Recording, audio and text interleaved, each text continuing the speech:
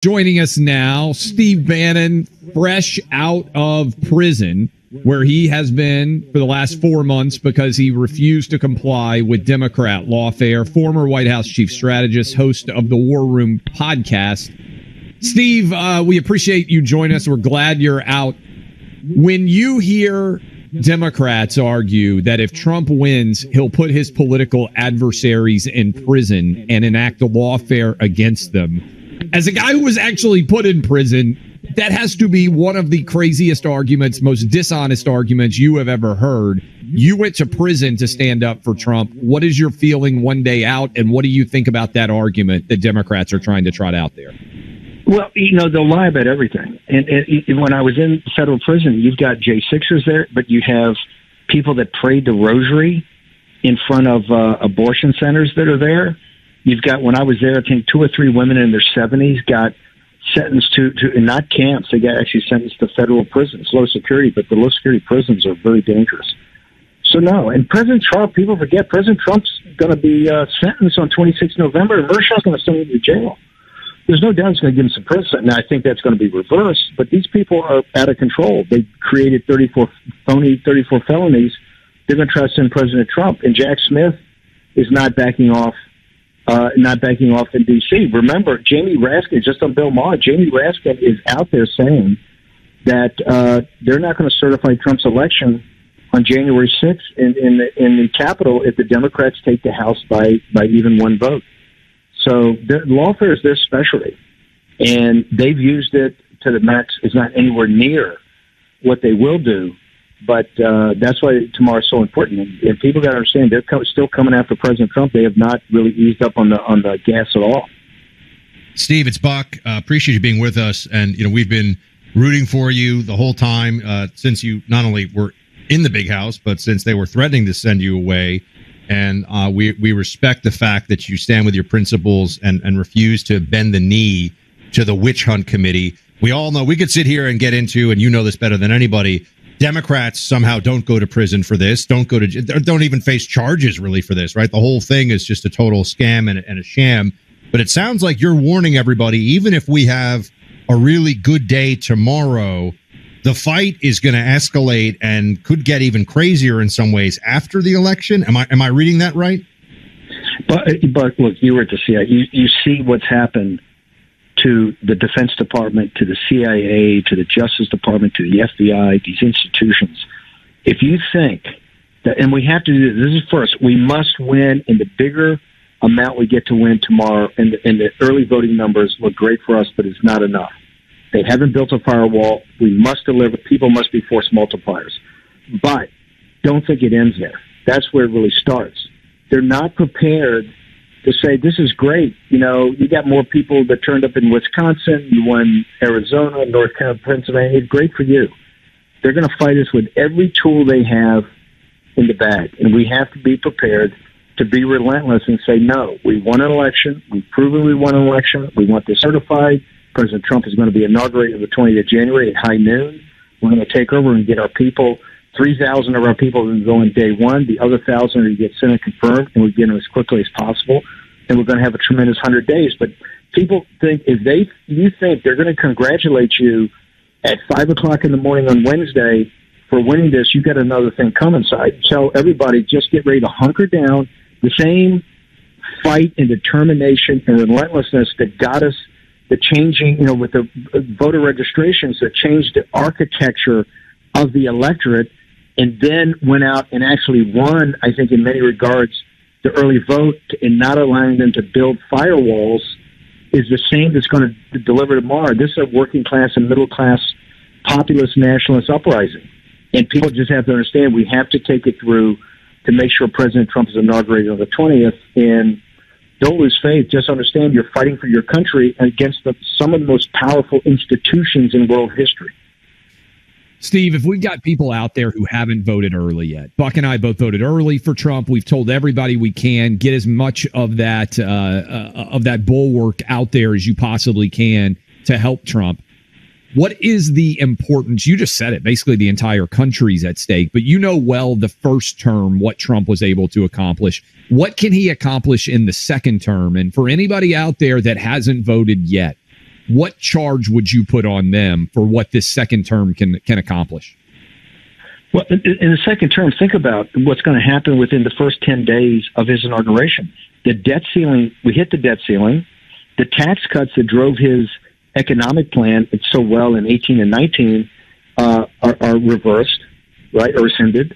And we're not going to pass an omnibus bill on December 20th. The government's going to run out of money. So we've got to address the deficit. Elon Musk's going to come in and help him with that. But he has three massive financial issues that will set the direction for the country economically, maybe for a decade. That's in the first 10 days. Oh, and by the way, we've got to commence immediately, not just building the wall, but the st- commencement of the deportation of 10 to 15 million uh, you know, illegal aliens, which Tucker Carlson was just on my show today. He says think it's the greatest, uh, the, the, the worst thing that's happened to the country since Pearl Harbor. So um, this this is all in his first week, and remember, we got all these criminals, the criminal elements, hundreds of thousands of people. What he has to address, besides the fact of then getting proper adjudication investigations of FBI, DOJ, CIA, Defense Department, all of it, which will be quite complicated, but has to be done in, in totally transparently so the American people can understand what happened to the CIA, understand what happened to the FBI, understand what happened to DOJ. That's all right of the box. So, folks, if, if you want more of the same and only getting worse, then stay home because you're going to get more of the same and you're, you're going to get less and less economic opportunities, less and less freedom. So, if you want that, if you find with techno feudalism, hey, they'll serve it up to you uh, as much as you want. Now, if you want freedom and liberty and economic opportunities and to really have this country back to its revolutionary roots, not only do you got to get out tomorrow, you have to be a force multiplier. We need everybody in your audience to take that because, hey, we have to hold the House. If they take that, if Jamie Raskin and Nancy Pelosi and Hakeem Jeffries are running the House, they're going to want not certify Trump on, on the 6th and then when he actually takes absolute power through that, they're going to, you know, Andy Biggs said the other day in my show, they're already drafting up articles of impeachment if they if they take control by one one uh, one one seat, one House seat. So, folks, tomorrow's everything, and you got to get out there. But don't think the game is over after that. You're not going to be able to rest. And I would love to tell you that it's all going to be great in the sunlit uplands, but it's not.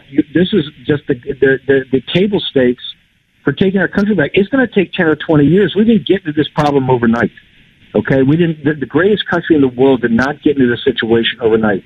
And we have to understand that it's going to take us a decade or longer to get out. Now, listen, when you have Elon Musk and Megyn Kelly and Tucker Carlson and Nicole Shanahan and Vivek Ramaswamy and all these new people coming towards, you know, David Sacks, we have all these new people coming to this movement. We're at the top of the first inning. You know, Tulsi Gabbard, uh, Danica Patrick.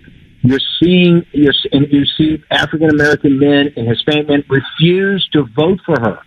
That's why these numbers are so good. This is a new coalition. We're at the top of the first inning, but we're going to have to power through this. And remember, if we don't quit, we win. This is why I went to prison. I, I, I served uh, as a naval officer in my 20s under Destroyer.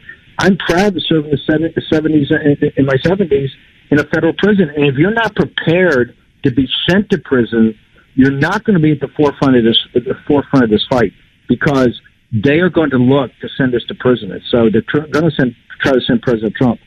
This is the top of the first inning. Tomorrow's a huge day, but it doesn't end tomorrow. It really commences tomorrow. We're speaking to Steve Bannon. He is the host of the War Room podcast. Uh, Steve, you mentioned this toward the end there. What is it like to be a political prisoner, which is what you were, in America in 2024? Well, look, federal prison is is is tough. I mean, there's a very violent place. They got a lot of gangs. They've got particularly it's swamped with drugs. This drug called K2. There are many many good people there, but you've got a lot of uh, you've got a lot of uh, the foreign nationals that are now have come through the borders that are there. You've got very violent gangs. You got stabbings. You have fights. Uh, and like I said, it's awash with drugs. Uh, the, the police officers, many the police officers there are excellent and really try to help the inmates, try to keep order. Many of the inmates are excellent people. They're there for various reasons, but they're trying to sort their lives out to get back out. Their families have been devastated by this. You know, they, that's one of the reasons they hate uh, Kamala Harris because she's kind of the queen of mass incarcerations. I could tell that in prison. But it's tough, and people have to understand it's it's it's it's it's meant to be tough, and it's tough. But you can power through. For me, it was empowering. Just thinking, hey, I'm 70 years old. This experience is totally unique. If I power through this, you know, Nancy Pelosi, I'll never bend the knee to Nancy Pelosi. I'll never bend the knee to Jamie Raskin. I'll never bend the knee to these radicals. And so, you know, for me, it turned out to be great. But people got to understand, they are set to send a lot of people to prison. They already have the J6 people, these people praying the rosy outside of abortion centers, parents that tried to stand up about what's happening in the schools. So folks have to understand this is their their their heart. This is hardball, and they play smash mouth. Talking to, talking to Steve Bannon, fresh out of prison, being willing to stand up to the Democrat lawfare. How big of a deal? You were there in 16 when so many people were stunned that Trump won. I think Buck agrees with me too. Trump is going to win tomorrow if everybody shows up. I don't just want to win though. I want the popular vote. We got to make this too big to rig. What would winning the popular vote mean if everybody out there shows up, gets their friends and families out there? How much of a statement would that be? Hang for one second. Let's move back to 16. Remember, 16, you can make the argument she lost it as much as we won it, right? Because she it was her arrogance and not going to Wisconsin, not going to Michigan. This kind of arrogance of Robby Mook and these guys that they didn't need uh, to to address the issues of the country. Uh, we snuck up on them. Remember, we were three and a half points down the night before, and media had already written us off. That when the when the exit polls came out at five o'clock, she was winning a 350 to 400 electoral vote victory. That people had voted for Trump were still too shy to tell people they had voted for Trump. The the exit polls at five o'clock had us blown out of the water and we won. This time we didn't sneak up on. This time they've been waiting. They and they've got all their force line. This victory is orders of magnitude more powerful. And remember, everybody abandoned Trump. This really comes from a grassroots a grassroots perspective. So that's why this is so important, and that's why they're so dug in. Also, the fact of look at just look at your show the last couple of years. Look at what we've learned. Look at what the, the people understand the issues with the oligarchs in Silicon Valley, with what's happening on Wall Street, with what's happening in the economy, and the 15 million that Wall Street and the political class have allowed to come in and, and ruin our country. This is, we understand the stakes are so much higher, but they are ready. So tomorrow, I would love to win the popular vote.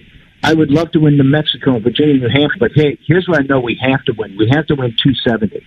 So that means you know, North Carolina, Georgia, Arizona, Nevada, you have to represent. You've done such a good job on the early vote. You must represent tomorrow.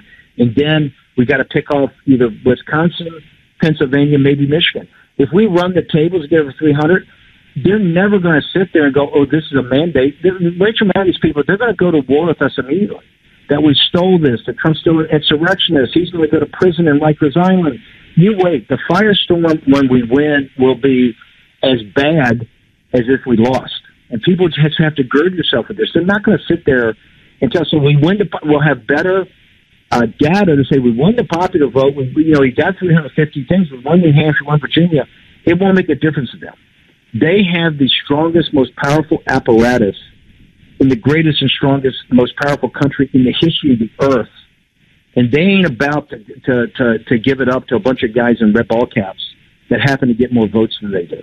That's what we got to gird our loins with. That's what we got to get focused on.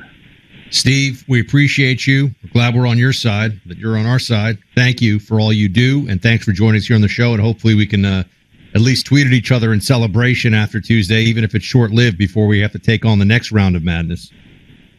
Guys, we got a long fight ahead of us. Glad you're in the foxholes with us. Absolutely, sir. Thank Steve you. Bannon, I think, going to be in the history books a hero for standing up to Democrat lawfare.